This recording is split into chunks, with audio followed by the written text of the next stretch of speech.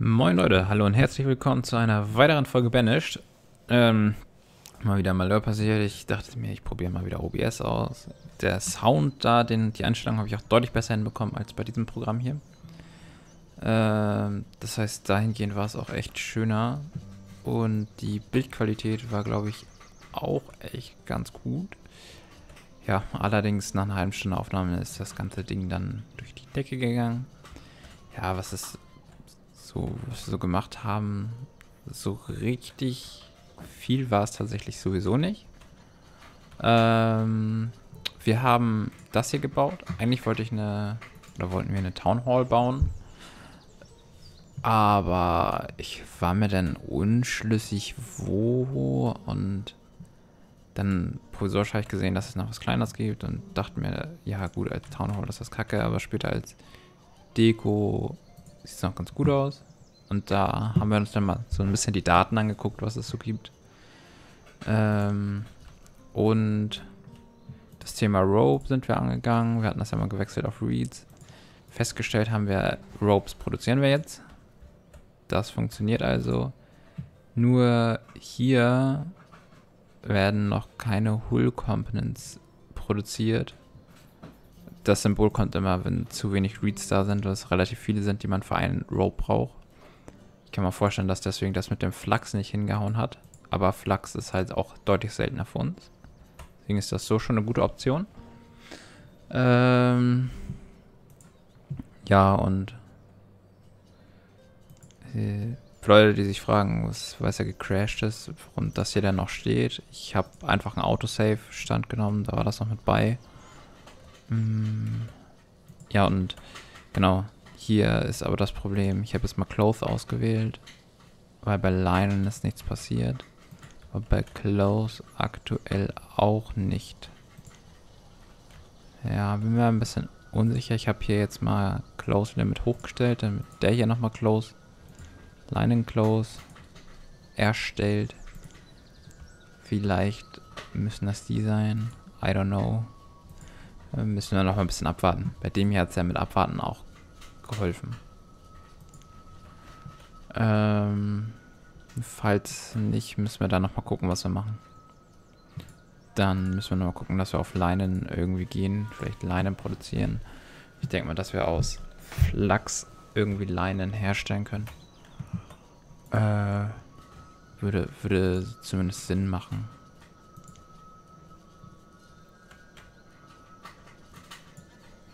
Ja, wie gesagt, abwarten. Erstmal gucken, ob sich so vielleicht was tut.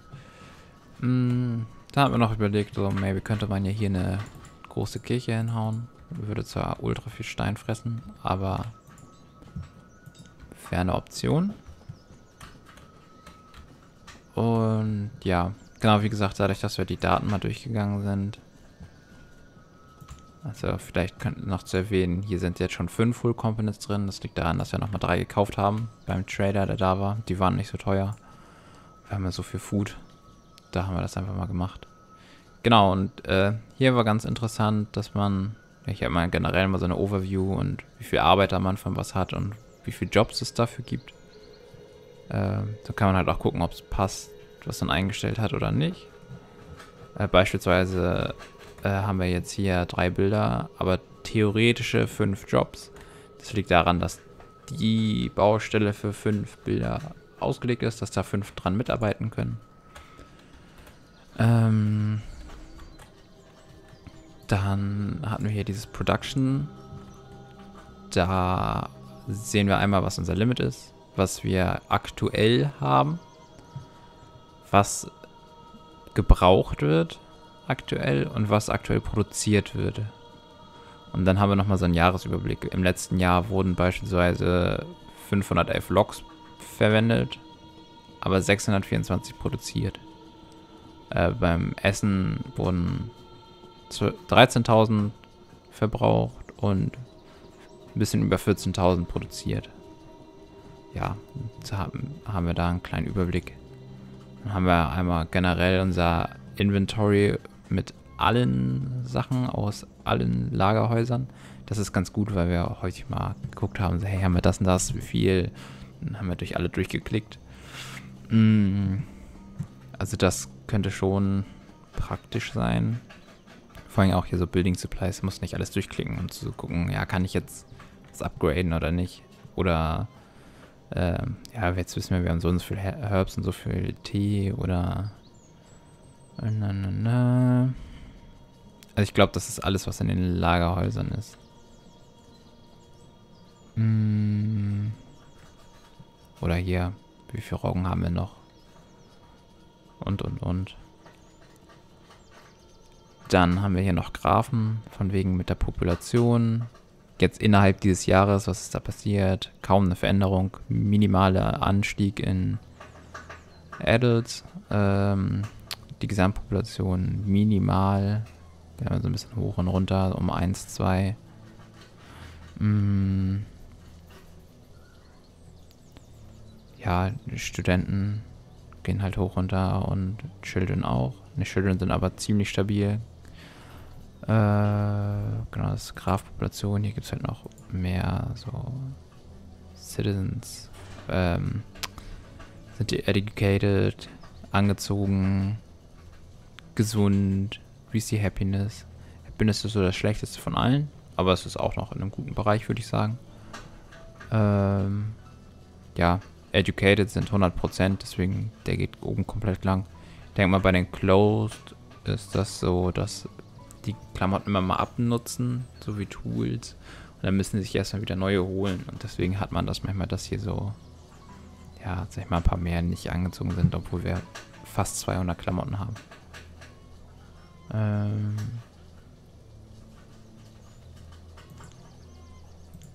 ah, Food. Natürlich auch interessant das wäre jetzt mal, guck mal, wir haben 34 Jahre schon hinter uns, wenn wir jetzt mal auf 50 gucken, da ist alles dabei. Was für ein Food-Anstieg wir haben. Bei der Population wäre es auch interessant. Er ist relativ hoch gestartet auch schon. Ja, klar. dann sind wir gut hochgegangen, ist sich erstmal eingependelt und seitdem hatten wir, also seit dem Punkt hier, haben wir eigentlich die ganze Zeit eine relativ konstante Linie nach oben gehabt. Bis auf einmal dieses Treppchen. Aber ich denke mal jetzt, da wir keine neuen Häuser gebaut haben, wird es auch erstmal wieder flachen. Und es ist auch interessant, dass obwohl die Gesamtpopulation und die Adults stark steigen, die Studenten, also die Schüler und Kinder relativ weit unten bleiben. Hm. Ja, das Minerals, es geht halt hoch und runter. Je nachdem, wie man die Leute losschickt oder nicht. Ähm,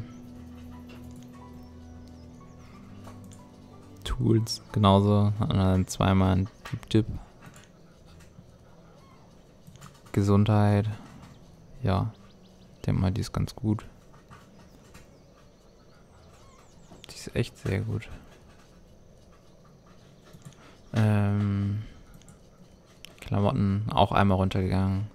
Immer ein Anstieg, wenn wir es mal wieder hochgestellt haben, dass wir mehr Klamotten haben wollen in der, im Lager. Ja, Luxschlüssel und sowas haben wir eh noch nicht.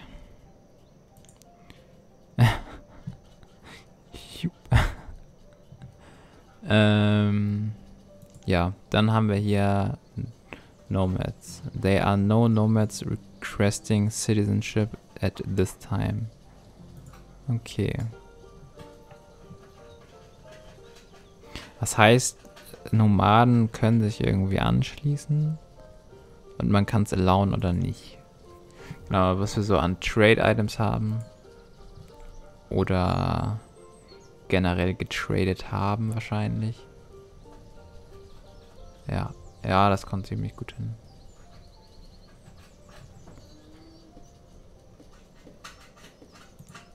ja. Mm, das ist so, ja, der, ich sag mal, der Überblick. Deswegen, also eine Town Hall finde ich jetzt schon relativ interessant. Aber das ist auch schon mal ein guter Point of Alternative. Da kommt auch schon der nächste Trader. Ähm, wir haben viel Lumber. Das ist auch der Grund, weshalb ich wenn es im Winter mal knapp werden sollte, einfach den umswap. Der produziert relativ viel dann noch zusätzlich an Firewood. Dann sind wir da auch wieder gerüstet. Agavenseeds, Dresscode, Bisoncut. Okay. Tinware, Corn Whisky, Ginger. Ja, ich glaube, diesmal trainen wir mal nicht. Jetzt nichts bei, bei dem ich sagen würde, geil, her damit.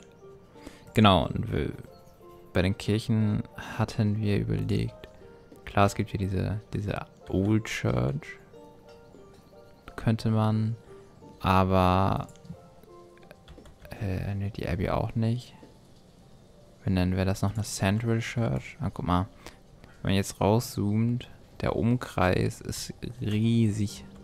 Das heißt, wir könnten die hier hinbauen und hätten fast alle Häuser bis auf die hier hinten drin. Oder wir bauen sie hier hin und dann würden die hier fehlen. Ähm, also das ist schon riesig. Allerdings weiß ich noch nicht so ganz, wie ich das mit dem der Treppe finden soll. Das passt schon. Aber ja. Dann gibt es noch die ganz normale Church passt halt auch nicht so richtig, aber das ist ja immer in einem Stadtbild passt eine Kirche irgendwie nie so 100%. Dann die irgendwie so hinsetzt.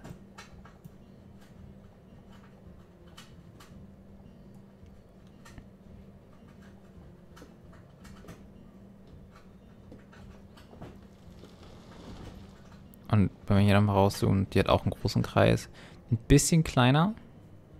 Da fehlen so hier hinten, ja, das eine Haus ist halt nur halb. Das hier sind ja eh Produktionsgebäude. Ja, fehlt halt ein bisschen. Aber ich glaube, das ist okay. Und wenn man nach oben guckt, da haben wir noch ein ganzen, ganzes Stück, was wir voll bauen können. Und hier hinten kommt dann, wenn wir weiterbauen, einfach was Kleines hin. Oder nochmal so eine. Ja, das ist auf jeden Fall ist aktuell die Frage, bauen wir die oder die andere? Wir hätten ja genug Steine da. Dann wäre aber echt viel weg. Aber das wäre schon mal... Das wäre mal was richtig krasses. Vielleicht setzen wir die auch einfach hier hin. Ich hoffe, die Hintergrundgeräusche sind aktuell nicht zu schlimm.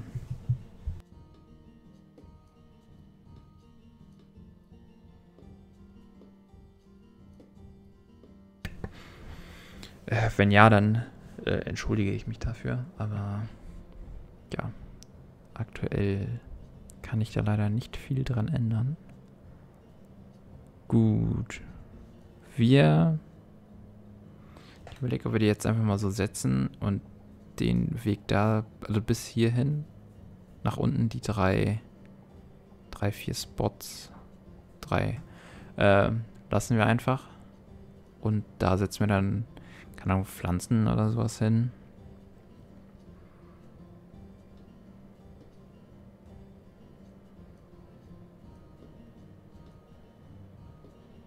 Ja, dann haben wir mal was Richtiges hier stehen. Äh, ja, drei Bilder reichen hoffentlich. Wie viel könnten da arbeiten? Sechs. Ja. Das meiste ist ja eh Geschleppe. Und dafür haben wir Laborer. Also alles cool. Oh, das war jetzt blöd. ähm, da, was hatten wir? So. Ja, bin ich mal gespannt, wie lange das überhaupt dauert. Und da das viel Stein kostet, dachte ich mir auch gleichzeitig... Das ist gar kein Stone. Mal ein bisschen. Können wir noch mal ein bisschen sammeln.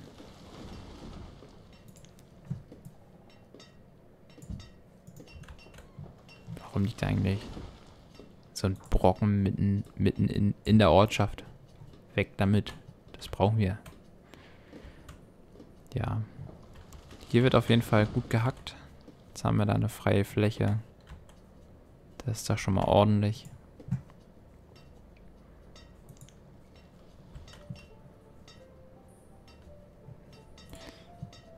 Wird hier wahrscheinlich auch ordentlich was eingelagert. Das ist auch gut so. Das kann dann direkt wieder hier hin.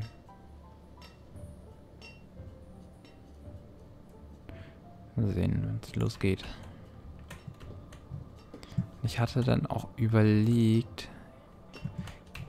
Guck mal, jetzt haben wir nämlich das hier. Können beim Inventory gucken und wissen, wie viel Bricks wir insgesamt haben. 183. Das hatte ich nämlich überlegt, ob man da nicht einfach wieder... Äh, Brick, Brick, Brick. Dass man hier eine Brick Road einmal drumherum setzt. Also Stone wäre natürlich passender. Aber Stone ist auch, ich würde mal sagen, teurer. Also, ich habe das Gefühl, Stone produzieren wir nicht so gut nach, als dass wir das usen könnten, vor allem, weil wir jetzt 280 raushauen. Guck mal, 100 sind schon drin. 28 davon. Klar noch kein Iron, weil das alles auf der anderen Seite rumgaukelt.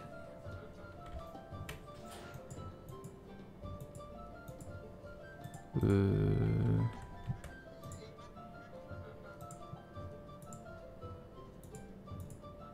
Bin gerade ein bisschen verwirrt. Haben wir hier nicht? Da, okay. Da ist schon ein Teil.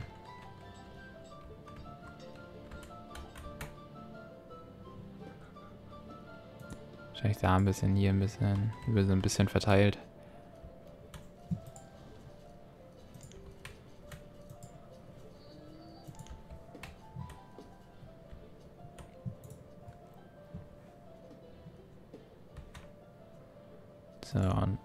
Stone brauchen wir halt auch noch ein bisschen.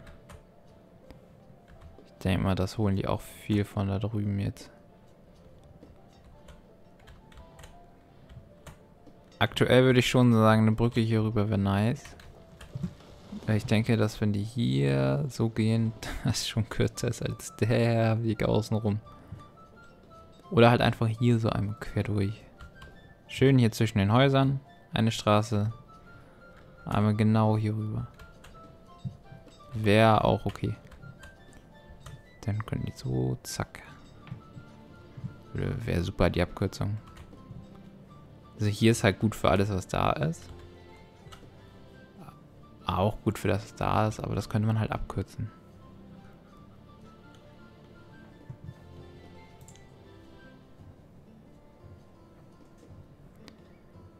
Ja, da kann man, könnte man ja mal eine, eine andere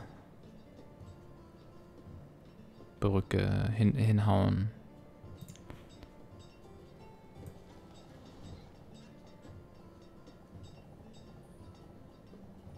Zweimal macht er nicht? Ja gut. Und dann von da nochmal. Also wäre schon ordentlich. Aber es wäre gar nicht so viel schneien. Könnte man eigentlich mal machen. Genau, hier so.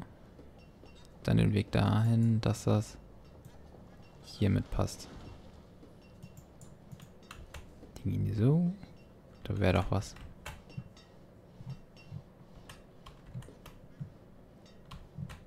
Alternativ würde auch so gehen. Ja, mal, mal gucken.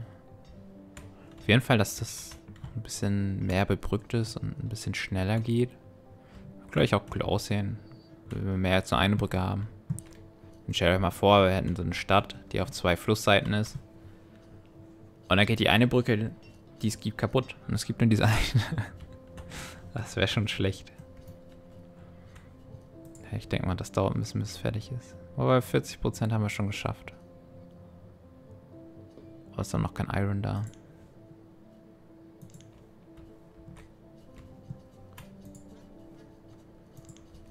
Puh. Immer noch keine Whole Components.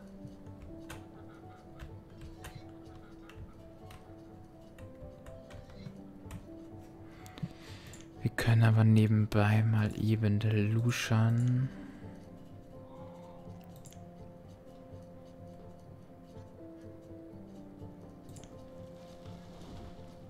Gibt es irgendwo so eine Art Fertilizer Hood?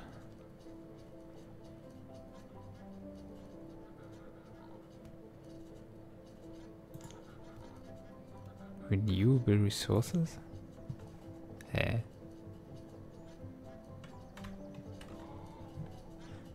Wäre ich schon mal gewillt, das auszutesten. Pavisol Stein Renewable. Hm. Ja, können wir mal irgendwann austesten. Flux Gatherer.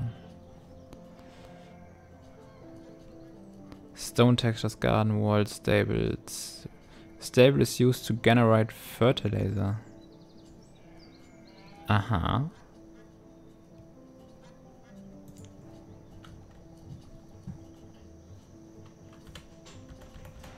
Interessant.